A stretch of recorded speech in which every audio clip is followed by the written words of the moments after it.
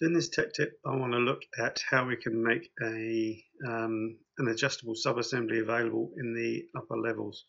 So if I go to drag component and pick up on here, you'll notice that we can rotate this around um, as we need to. So that gives us the flexibility.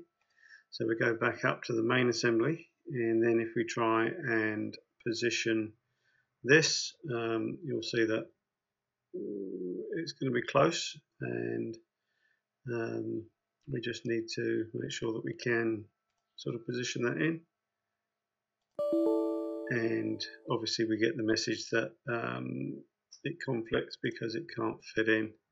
So um, what I need to do is be able to make this adjustable. Um, so if I go up to the sub-assembly level and go into the um, simplified adjustable area we can go make it an adjustable assembly so you'll see that the um, icon has changed and now when we come back into here we can go back in and pick that and you'll notice that this now um, adjusts to um, allow that positioning to go ahead. So hopefully that uh, just gives you an indication of how we can use adjustable assemblies.